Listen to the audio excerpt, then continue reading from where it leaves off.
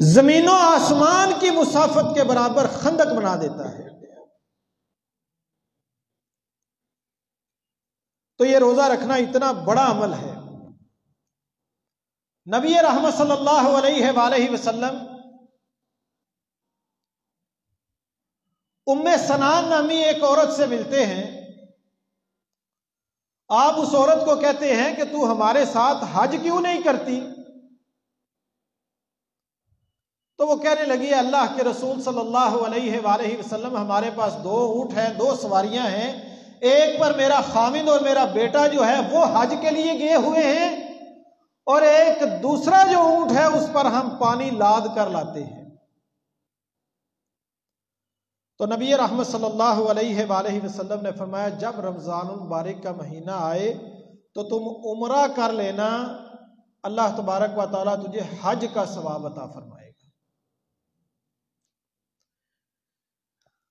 بخاری مسلم کی یہ حدیث کے رمضان المبارک کے اندر جو شخص عمرہ کرتا ہے، اللہ تبارک و تعالیٰ اس کو حج کے برابر ثواب عطا فرماتا ہے۔ اور دوسری روایت وہ بھی بخاری و مسلم کے اندر ہے کہ نبی رحمت صلی اللہ علیہ وآلہ وسلم نے فرمایا کہ رمضان المبارک میں عمرہ کرنا جو ہے، وہ میرے ساتھ حج کی قضا کی مانند ہے۔ کرسیاں کا بندوبست کرو کرسیاں دو چل آؤ تو جا کے اندروں کڈو اندر کرسیاں پہ کڈو تو یہ رمضان المبارک کی فضیلت ہے کہ رمضان المبارک کے اندر جو بندہ عمرہ کرتا ہے اللہ تبارک و تعالیٰ اس کو حج کا ثواب عطا فرماتے ہیں اور رمضان المبارک میں عمرہ کرنا یہ اسی طرح ہے جیسے نبی رحمت صلی اللہ علیہ وآلہ وسلم کے ساتھ حج کیا جائے۔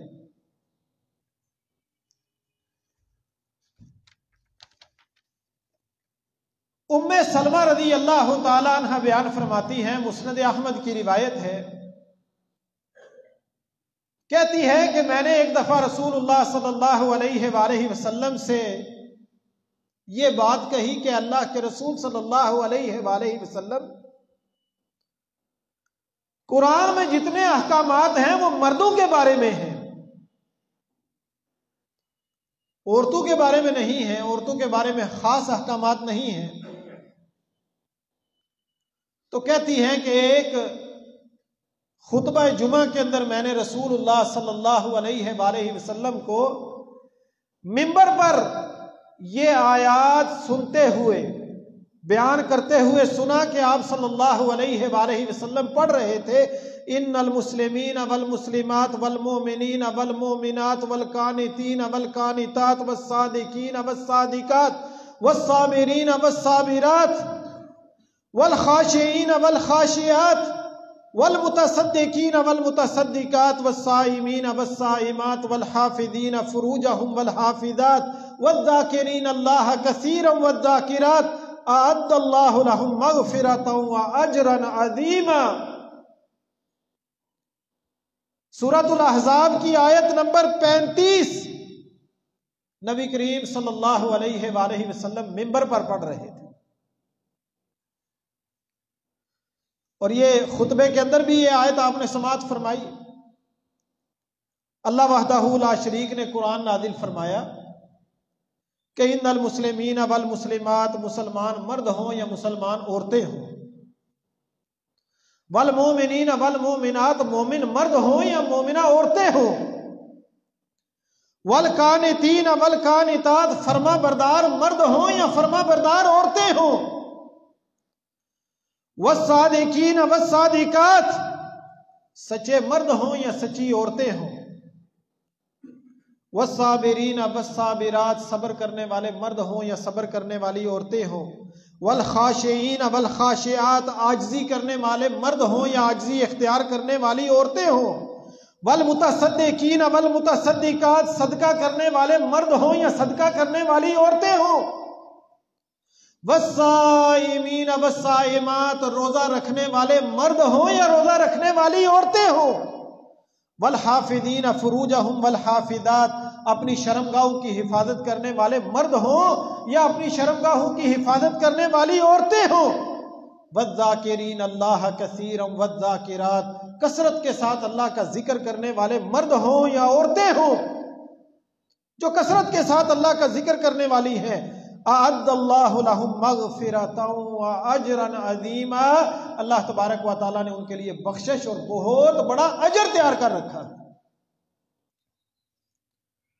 تو اس آیا مبارکہ کے اندر وسائمین وسائمات روزہ رکھنے والے مرد اور روزہ رکھنے والے عورتوں کا ذکر ہے۔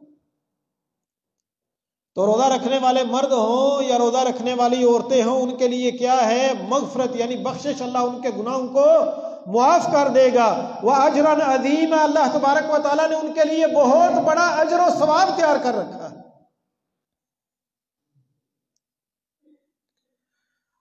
اور آپ صلی اللہ علیہ وآلہ وسلم نے یہ بات ارشاد فرمائی کہ ابن آدم یعنی آدم کا جو بیٹا ہے اس کے نیک اعمال کا اجر و ثواب جو ہے وہ کئی گنا بڑھا دیا جاتا ہے۔ ایک نیکی دس سے لے کر سات سو گنا تک اس کی بڑھا دی جاتی ہے۔ سوائے روزے کے، اللہ تبارک و تعالیٰ فرماتے ہیں انا اجزی بھی روزہ میرے لیے ہے اور اس کی جزا بھی میں خود ہی دوں گا۔ کیونکہ وہ میری وجہ سے اپنی شہوت اور اپنے کھانے پینے کو چھوڑ دیتا ہے۔ آدم کا بیٹا اپنی شہوت اور اپنے کھانے پینے کو میری وجہ سے چھوڑ دیتا ہے۔ اس لیے اس کا اجر و ثواب میں ہی دوں گا۔ دیگر جتنے اعمال ہیں ان کا اجر و ثواب دس گنا سے لے کر سات سو گنا ہے۔ لیکن روزہ ایک ایسا عمل ہے کہ اس کی جزا اللہ تبارک و تعالی خود عطا فرمائے گی۔ ابو ماما رضی اللہ تعالیٰ عنہ بیان فرماتے ہیں، میں رسول اللہ صلی اللہ علیہ وآلہ وسلم کی خدمت میں حاضر ہوا اور میں نے کہا، اللہ کے رسول صلی اللہ علیہ وآلہ وسلم، مجھے کوئی حکم دے جس پر میں عمل کروں، کوئی بات ایسی بتائیں جس بات پر میں عمل کروں۔ دوسری روایت کے الفاظ ہے مجھے کوئی ایسا عمل بتلائیے جو مجھے نفع دے، جس سے مجھے فائدہ ہو۔ اور تیسری روایت کے الفاظ ہے مجھے اللہ کے رسول صلی اللہ علیہ وآلہ وسلم کوئی ایسا عمل بتلائیے جس کے کرنے سے میں جنت کے اندر چلا جاؤں۔ جنت میں لے جانے والا عمل، نفع دینے والا عمل، کوئی ایسا عمل بتائیے کہ جس پر میں عمل کروں تو رسول اللہ صلی اللہ علیہ وآلہ وسلم نے فرمایا علیہ کبھی سیامی آپ نے فرمایا، تم روزہ رکھو، اس کے برابر کوئی عمل نہیں۔ تم روزہ رکھو، اس کے برابر کوئی عمل نہیں۔ اور صحابہ کہتے ہیں کہ ابو محمد رضی اللہ تعالیٰ عنہ کے گھر سے ہم نے دھواں نکلتے نہیں کبھی دیکھا۔ سوائے اس کے کہ جب مہمان ان کے گھر میں آیا ہوتا اتنا یہ روزہ رکھنے والے تھے۔ جب نبی کریم صلی اللہ علیہ وآلہ وسلم سے یہ عمل پوچھ لیا کہ جنت میں لے جانے والا مجھے عمل بتلائیے، جب آپ صلی اللہ علیہ وآلہ وسلم نے روزہ رکھنے کا کہا تو یہ صحابی رسول رضی اللہ تعالیٰ عنہ روزے پر ایسے قائم دائم ہو گئے کہ ہمیشہ روزے رکھنے والے بن گئے۔ تو یہ بات تو ہو رہی ہے نفلی روزوں کی۔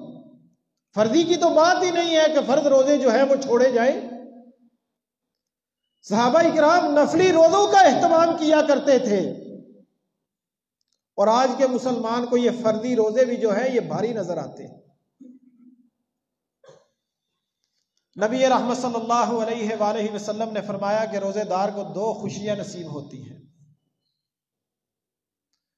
ایک خوشی اس کو افطاری کے وقت جو ہے ملتی ہے، جب وہ روزہ افطار کرتا پیاسا ہوتا ہے، کھانے کے لیے اس کو کھانا مل جاتا ہے، پینے کے لیے اس کو فرد خوشی ہوتی ہے، صبح دوبارہ نیا روزہ رکھنے کے لیے وہ بالکل جو ہے چست، تندرست و توانا ہو جاتا ہے، جو اس کے اندر ذوف کمزوری آئی ہوتی ہے، افطاری کے بعد وہ جو ہے پھر بالکل پھر ٹھیک ٹھاک ہو جاتا ہے۔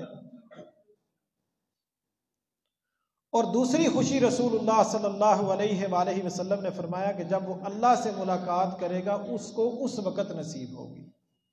روزے دار کو دوسری خوشی جو ہے، اس وقت نصیب ہوگی جب وہ اپنے اللہ سے ملاقات کرے گا۔ اللہ تبارک و تعالیٰ اس بندے کو خوش کر دیں گے۔ کس کو؟ جو روزہ دار ہوگا، روزہ رکھنے والا ہوگا۔ اور روزہ جو ہے، اس کو ڈال قرار دیا گیا۔ پرانے زمانے میں جب جنگیں ہوا کرتی تھی تو مجاہدین کے ایک ہاتھ میں تلوار ہوتی تھی، دوسرے ہاتھ میں ڈال ہوتی تھی، جس سے دشمن کا وار روکا جاتا ہے۔ اب تو جو ہے جنگیں توپوں کی، ٹینکوں کی اور گنوں کی ہو گئی ہیں۔ پرانے زمانے کی بات ہے۔ آپ صلی اللہ علیہ وآلہ وسلم نے فرمایا، روزہ ڈال ہے یعنی جس سے دشمن کا وار روکا جاتا ہے۔ انسان کا دشمن کون ہے؟ شیطان ہے۔ شیطان کا وار اس سے روکا جاتا ہے روزے کے ذریعے سے۔ آپ نے فرمایا، تم میں سے کوئی شخص جب روزے کی حالت میں ہو تو وہ ناشائستہ گفتگو نہ کرے۔ فحش گفتگو، گندی گفتگو، بری گفتگو رسول اللہ صلی اللہ علیہ وآلہ وسلم نے فرمایا نہ کرے۔ اور آپ نے فرمایا، وہ لڑائی جھگڑے سے بھی پرہیز کرے۔ کسی سے گالی گلوچ نہ کرے۔ جب کوئی اس کے ساتھ گالم گلوچ کرے تو اس کو کہہ دے کہ میں روزہ دار ہوں۔ میں تیرے ساتھ لڑائی نہیں کر سکتا، میں تیرے ساتھ گالم گلوچ نہیں کر سکتا، میں روزہ دار ہوں۔ تو یہ روزہ جو ہے، اس کو رسول اللہ صلی اللہ علیہ وآلہ وسلم نے ڈھال قرار دیا، جس سے دشمن کا وار روکا جاتا ہے، شیطانی حملوں کو روکا جاتا ہے۔ اور ایک اور روایت جس کو امام نسائی رحمہ اللہ نے روایت کیا، آپ صلی اللہ علیہ وآلہ وسلم نے فرمایا، روزہ جہنم کی آگ سے ڈھال ہے۔ یعنی جہنم کی آگ سے یہ بچانے والا ہے، جیسا کہ تم میں سے کوئی شخص جنگ سے بچنے کے لیے ڈھال کا استعمال کرتا ہے۔ یعنی روزہ رکھ لے بندہ تو وہ جہنم کی آگ سے بچ جائے گا، اس کا معنی اور مفہوم اور اس کی تشریح یہ بنتی ہے۔ روزہ دار کو اللہ تبارک و تعالی جہنم کی آگ سے بچا لیں گے۔ اور یہ روزہ اتنا محبوب، اتنا پیارا عمل ہے کہ آپ صلی اللہ علیہ وآلہ وسلم نے فرمایا، جنت کے اندر ایک دروازہ ہے جو باب الریان ہے، جس کا نام باب الریان ہے۔ آپ صلی اللہ علیہ وآلہ وسلم نے فرمایا، اس دروازے سے صرف روزہ دار داخل ہوں گے۔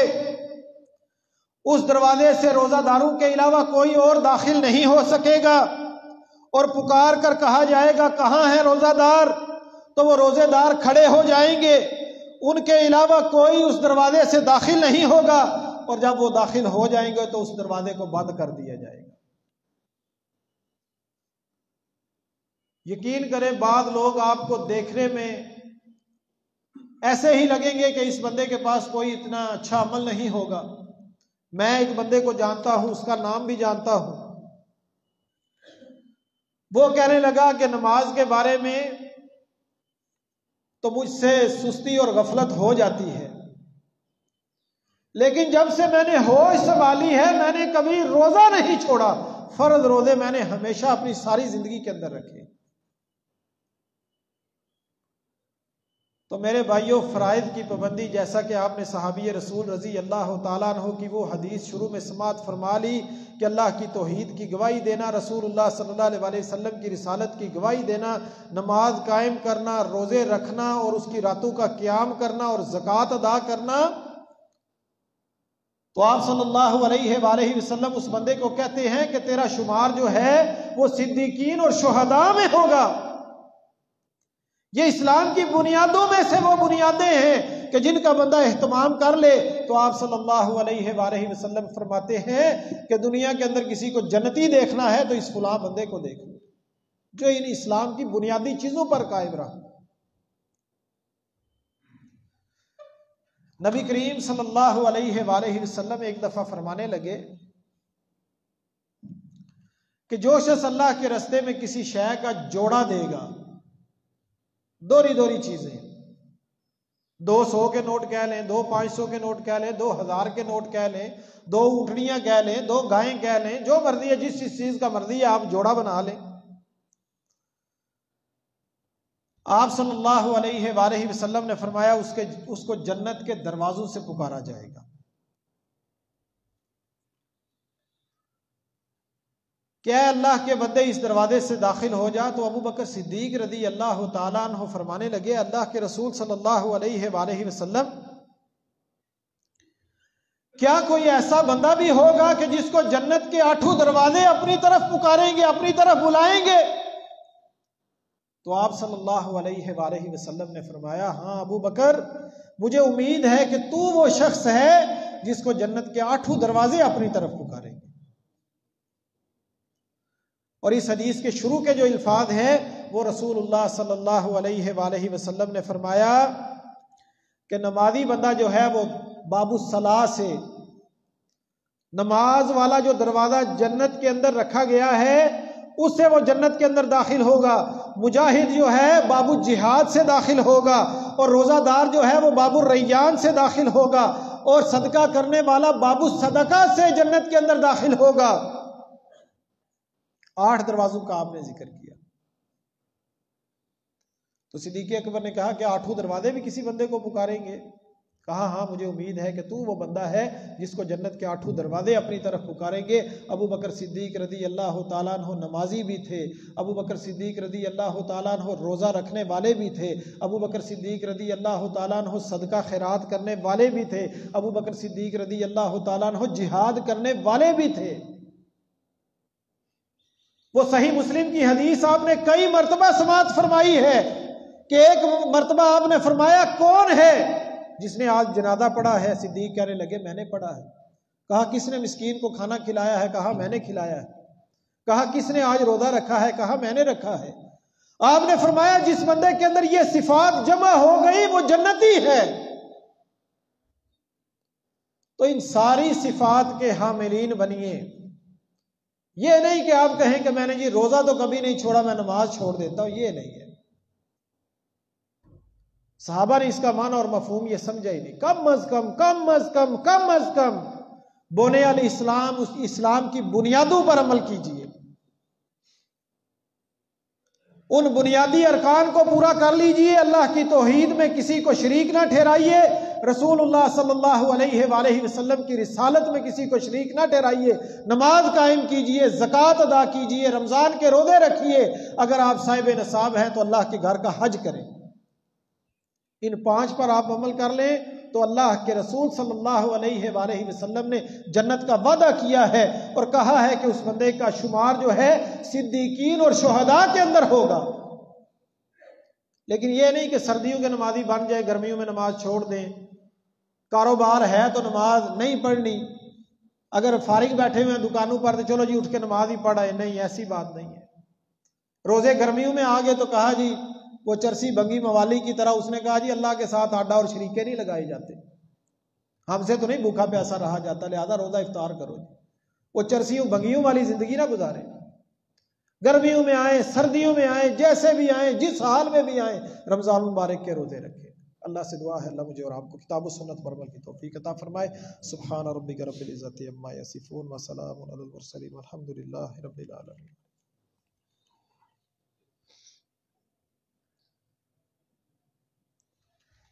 إن الحمد لله نحمده ونستعينه ونستغفره ونعوذ بالله من شرور أنفسنا ومن سيئات أعمالنا.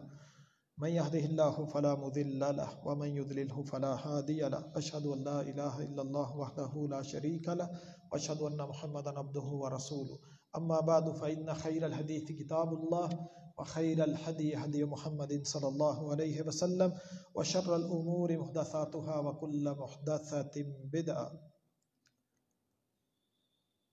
نبی کریم صلی اللہ علیہ وآلہ وسلم نے ارشاد فرمایا، اس ذات کی قسم جس کے ہاتھ میں میری جان ہے روزہ دار کے منہ کی بو اللہ کے نزدیک کستوری سے بھی زیادہ اچھی ہے۔ اس حدیث کو امام بخاری اور امام مسلم رحمہ اللہ نے اپنی کتابوں کے اندر روایت کیا۔ وہ بو جس سے میں اور آپ نفرت کرتے ہیں اللہ تبارک و تعالیٰ کو کستوری سے بھی زیادہ وہ بو جو ہے وہ محبوب ہے، پیاری ہے۔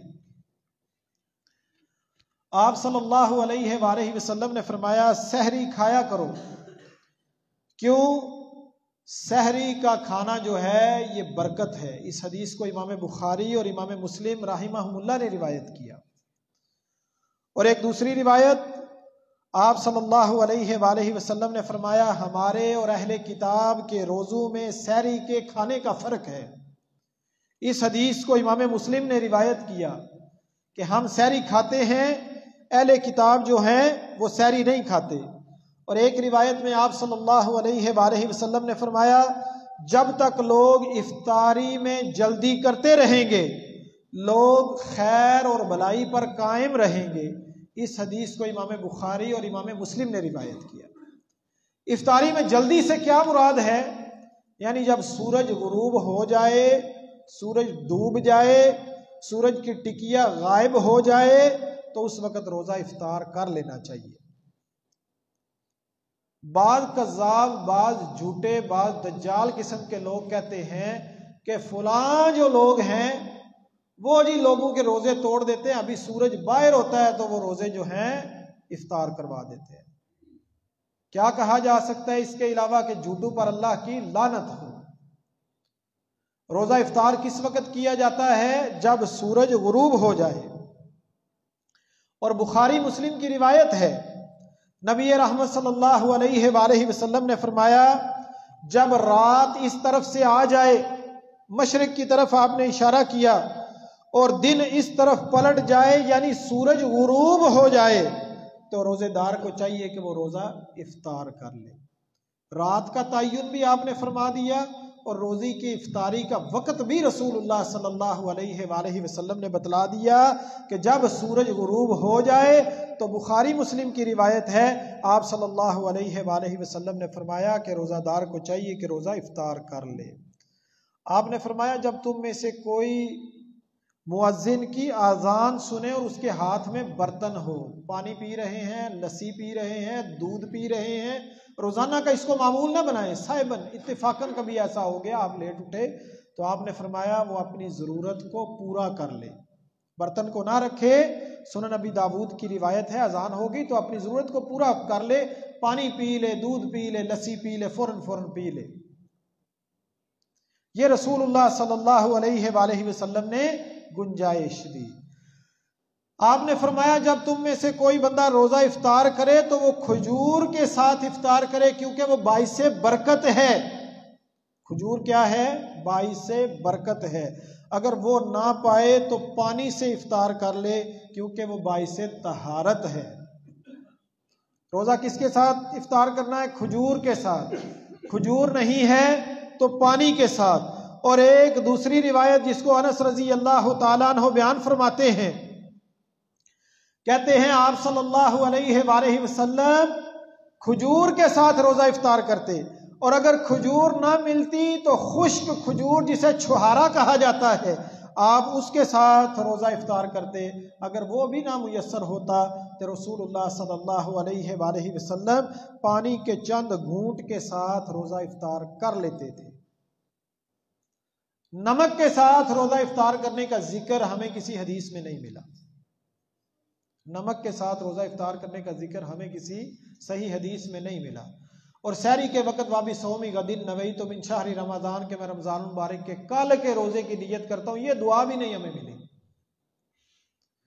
اور افطاری کے وقت صرف ایک دعا جو با سند صحیح رسول اللہ صلی اللہ علیہ وآلہ وسلم سے ثابت ہے، وہ یہ ہے، ذہب الزماء وابتلت العروق وثبت الاجر انشاء اللہ۔ سنن نبی داود کی روایت ہے، پیاس چلی گئی، رگے تر ہو گئی، اور اگر اللہ نے چاہا تو اجر ثابت ہو گیا۔ یہ دعا رسول اللہ صلی اللہ علیہ وآلہ وسلم سے ثابت ہے۔ باقی جتنی کیلنڈروں پر لکھی ہوئی دعائیں ہیں وہ سب ضعیف روایات ہیں۔ تو صحیح روایات پر عمل کریں، ضعیف روایات پر عمل نہ کریں۔ آپ صلی اللہ علیہ وآلہ وسلم نے فرمایا، جو شخص کسی روزے دار کا روزہ افطار کرائے گا یا کسی مجاہد کی تیاری کرائے گا یعنی اس کو میدان جہاد کے اندر جانے کے لیے سامان مہیا کرے گا، تو اس کے لیے بھی اس کے مثل ہی اجر و ثواب ہے۔ اور کہیں رسول اللہ صلی اللہ علیہ وآلہ وسلم یہ بات ارشاد فرماتے ہیں، جب تک لوگ افطار کرنے میں جلدی کرتے رہیں گے، دین غالب رہے گا، کیونکہ یہود و نصارہ افطار کرنے میں تاخیر کرتے ہیں۔ اس حدیث کو امام ابو داود اور امام ابن ماجہ نے روایت کیا اور شیخ زبیر علی زئی رحمہ اللہ نے اس کی صنعت کو حسن قرار دیا۔ جلدی سے میں نے کہا کہ مراد یہ نہیں کہ سورج باہر ہو اور آپ روزہ افطار کر دیں، یہ مراد نہیں ہے۔ یعنی سورج غروب ہو جائے تو آپ روزے کو افطار کر لیں۔ ارباز بن ساریہ رضی اللہ تعالیٰ عنہ کہتے ہیں، ایک دفعہ میں سیری کے وقت رسول اللہ صلی اللہ علیہ وآلہ وسلم سے کے پاس سے گزرا تو آپ صلی اللہ علیہ وآلہ وسلم نے فرمایا، حلم الغداء المبارک آپ نے فرمایا، آؤ اس بابرکت کھانے کی طرف یعنی ہمارے ساتھ یہ بابرکت سیری کھا لو اور آپ صلی اللہ علیہ وآلہ وسلم نے فرمایا، مومن ایمان والے کی بہترین سیری جو ہے، وہ کھجور کا کھانا ہے۔ تو سیری میں ایک آدھ کھجور، دو، تین کھجوریں استعمال کر لیا کریں۔ تو اس حدیث میں رسول اللہ صلی اللہ علیہ وآلہ وسلم سیری کو بابرکت کھانا قرار دے رہے ہیں اور عباز بن ساریہ رضی اللہ تعالیٰ عنہ کو دعوت دے رہے ہیں کہ آؤ ہمارے ساتھ یہ بابرکت کھانا کھاؤ۔ اور جو روزے دار کا روزہ افطار کراتا ہے، اللہ تبارک و تعالیٰ نے اس کے لیے بھی اتنا ہی اجر و ثواب رکھا ہے جتنا روزہ دار کے لیے اجر و ثواب۔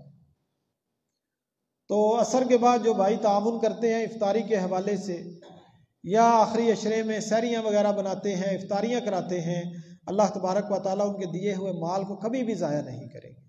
اللہ تبارک و تعالیٰ ان کو بہت زیادہ اجر و ثواب دیں گے۔ رسول اللہ صلی اللہ علیہ وآلہ وسلم نے فرمایا، جو شخص بھول جائے اور بھول کر کھا لے یا پی لے، تو اس کو چاہیے کہ اپنے روزے کو پورا کرے، کیونکہ اللہ نے اس کو کھلایا، اللہ نے اس کو پلایا۔ بھول کر اگر کسی نے کھا، جان بوجھ کر نہ کھائیں۔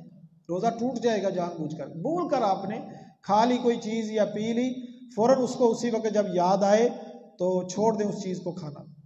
بھول کر کھا لیا تو روزہ توڑنا نہیں، اس روزے کو پورا کریں۔ اللہ نے آپ کو کھلا دیا، اللہ نے آپ کو پلا دیا۔ اللہ سے دعا ہے، اللہ تبارک و تعالیٰ مجھے اور آپ کو کتاب و سنت پر عمل کی توفیق عطا فرمائے۔ اللہ ہمارے کبیرہ سیرہ گناہوں کو معاف فرمائے۔ اللہ ہمیں زندہ رکھے، توحید پر رکھے، موت دے، توحید پر دے۔ جو افراد توحید پر فوت ہو چکے، اللہ تبارک و تعالیٰ ان کی مغفرت فرمائے۔ اور یہ رمضان مبارک کے مہینوں کے اندر جو بھائی قیام کرتے ہیں، روزہ رکھتے ہیں، صدقہ خیرات کرتے ہیں، اللہ سے دعا بھی کیا کریں کہ اللہ تبارک و تعالی ہماری ان نمازوں کو، ہمارے ان روزوں کو، ہمارے اس قیام کو، ہماری ان افطاریوں کو، ہماری سحریوں کو، ہمارے صدقات، خیرات کو اللہ تبارک و تعالی اپنی بارگاہ میں قبول بھی فرما لیں کیوں؟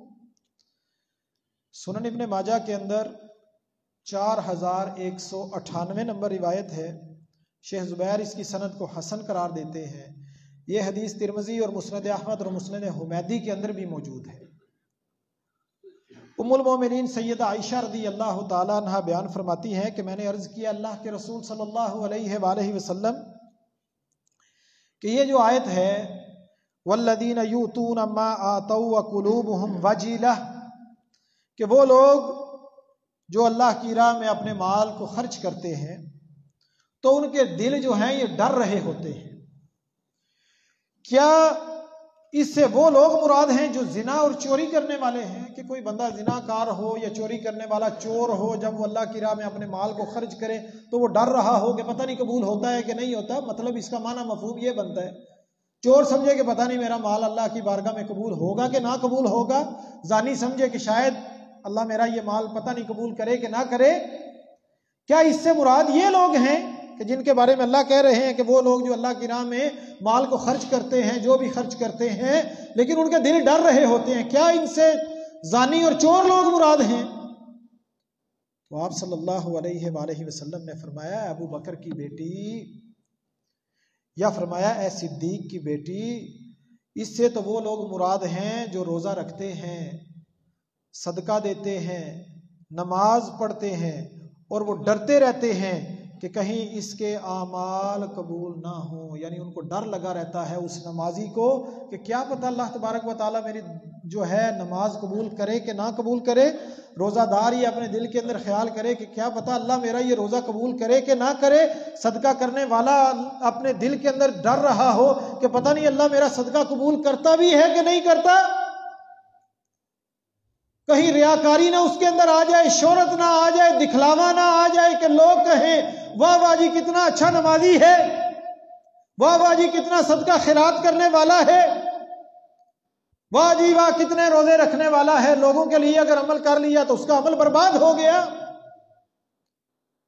تو جب میں اور آپ عمل کریں گے تو اللہ سے دعا بھی کریں گے، اللہ تیری رضا کی خاطر، تیرا حکم سمجھ کر رمضان کے روزے میں نے رکھے ہیں، راتوں کا قیام کیا ہے، صدقہ خیرات بھی جو توفیق تھی اللہ میں نے کیا ہے۔ اللہ اپنی بارگاہ میں قبول کر لے۔ تیرے ڈر سے کیا؟ تیرا حکم سمجھ کر کیا؟ تیرے دیے ہوئے مال میں سے دیا۔ کوئی ریاکاری شہرت، دکھلاوا کسی پر احسان نہیں میں نے کیا۔ تو یہ سنن ابن ماجہ کی یہ روایت اپنے ذہنوں کے اندر رکھیں اور صبح و شام اللہ سے دعا کرتے رہا کریں کہ اللہ میری نمازوں کو قبول فرما لینا، میرے روزوں کو قبول کر لینا، اے اللہ میری کتاب اللہ کی تلاوت کو قبول کر لینا، میرے صدقے خیرات کو قبول کر لینا، میں جو ذکر و اذکار کر رہا ہوں، اے اللہ ان کو قبول کر لینا، میری جتنی نیکیاں ہیں ان کو اپنی بارگاہ میں قبول کر لینا۔ اللہ سے دعا ہے، اللہ مجھے اور آپ کو کتاب و سنت پر عمل کی توفیق عطا فرمائے۔ اللہ ہمارے کبیرہ، صغیرہ گناہوں کو معاف فرمائے۔ اللہ ہمیں زندہ رکھے، توحید پر رکھے، موت دے، توحید پر دے، جو افراد توحید پر فوت ہو چکے، اللہ تعالیٰ ان کی مغفرت فرمائے۔ اللہ ان کی قبروں کو جنت کے باغوں میں سے ایک باغ بنائے۔ اللہ ہمیں نبی کریم صلی اللہ علیہ وسلم کی شفاعت نصیب فرمائے۔ اللہ حوض کوثر کا پانی نصیب فرمائے۔ اللہ نامہ اعمال دائیں ہاتھ کے اندر دے۔ اللہ عرش عظیم کا سایہ نصیب فرمائے۔ اللہ بغیر حساب و کتاب کے جنت الفردوس عطا فرمائے۔ اللہ ہمیں رمضان مبارک کی راتوں کا قیام، دن کا روزہ، کتاب اللہ کی تلاوت ذکر و اذکار، صدقہ، خیرات کرنے کی توفیق عطا فرمائے۔ اللہ ہمارے ان تمام نیک اعمال کو اپنی بارگاہ کے اندر قبول بھی فرمائے۔ پچھلے خطبہ جمعہ کے اندر بھی اعلان کیا تھا کہ دولت نگر کا جو جنازہ گاہ ہے، اس کی تعمیر جو ہے وہ جاری ہے۔ آپ بھائیوں سے گزارش ہے کہ یہ صدقہ جاریہ بھی ہے اور رفاع عامہ کا کام بھی ہے۔ میں اور آپ مر کر قبروں کے اندر چلے جائیں گے، لیکن جب تک ان جنازے گاہوں کے اندر، ان رفائی کاموں کے اندر جنازے ہوتے رہیں گے، نمازیں ہوتی رہیں گی، مسجدوں کے اندر، مدارس کے اندر تعلیم ہوتی تو اللہ تبارک و تعالیٰ مرنے کے بعد بھی ہماری ان نیک کاموں کا ہمیں جو ہے اجر و ثواب عطا فرمائیں گے۔ تو لہذا حسب توفیق جو ہے، جنازے گاہ کی تعمیر کے حوالے سے بھی اپنا حصہ ملائیں۔ اللہ ہمیں اللہ کی راہ میں یعنی اپنی راہ میں خرچ کرنے کی توفیق عطا فرمائے۔ سبحان ربک رب العزت عما یصفون وسلام علی المرسلین والحمد للہ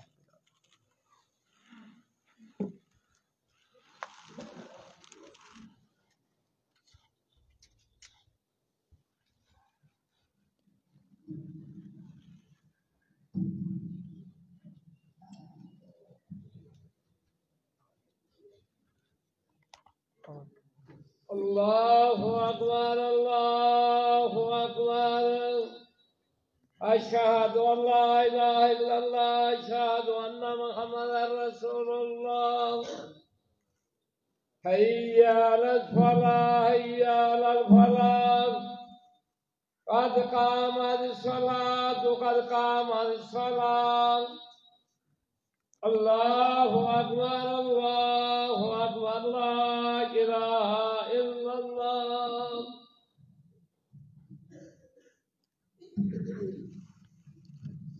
استووا اعتدلوا سبوا صفوفکم وسدوا الخلل التراسوا اقیموا صفوفکم صف بندی کر لو قدم نال قدم کندھے نال کندھا ملا لو اللہ اکبر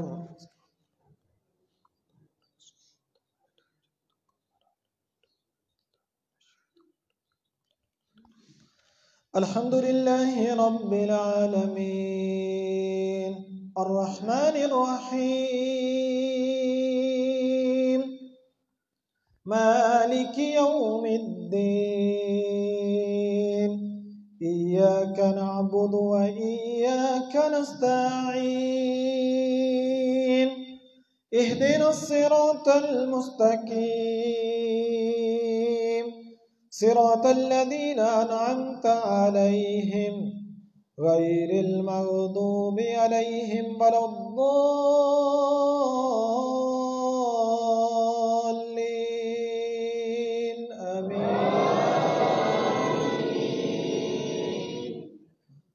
قل أعوذ برب الفلك من شر ما خلق ومن شر غاسق إذا بكب ومن شر النفاثات في العقد ومن شر حاسد إذا حسد.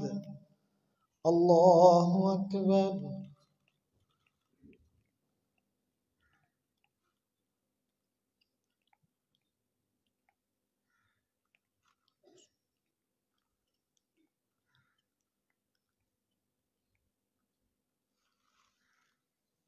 سمع الله لمن حميده.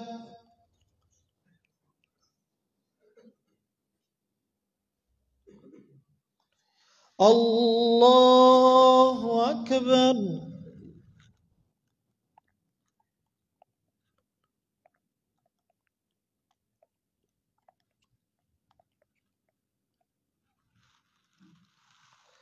الله أكبر.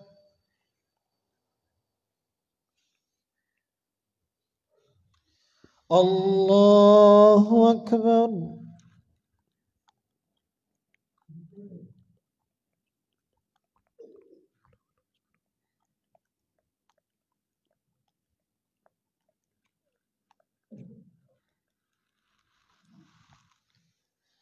الله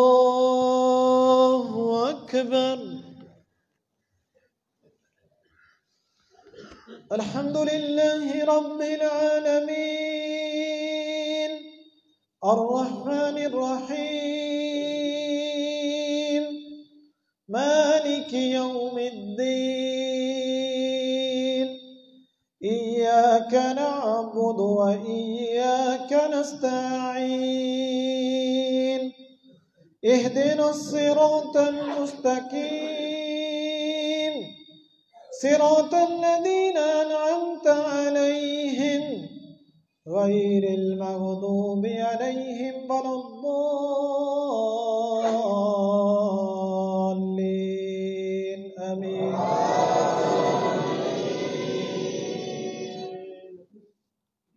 قل أعوذ برب الناس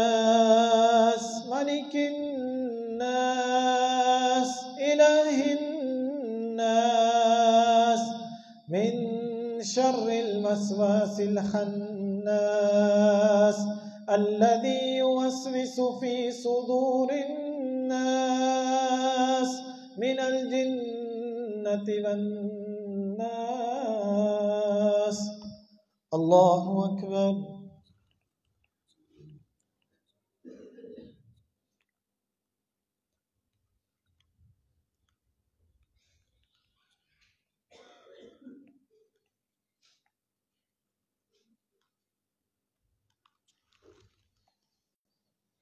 سمع الله لمن حميده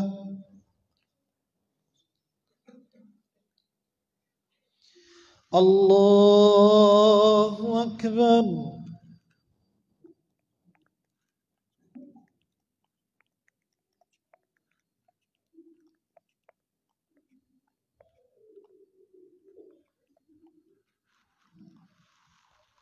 الله أكبر.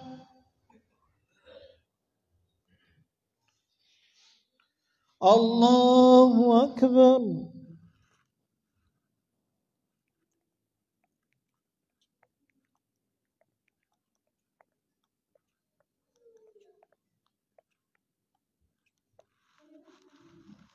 الله أكبر.